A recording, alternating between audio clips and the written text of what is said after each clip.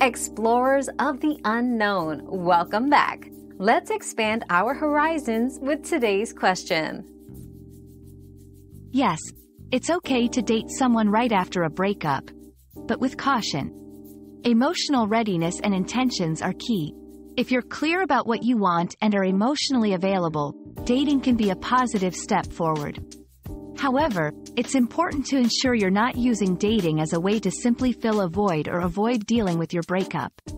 Self-reflection and being honest with yourself and others about where you are emotionally can lead to healthier relationships moving forward. We've quenched today's curiosity, but there's always more to learn. Keep the curiosity alive by subscribing and joining us for our next adventure.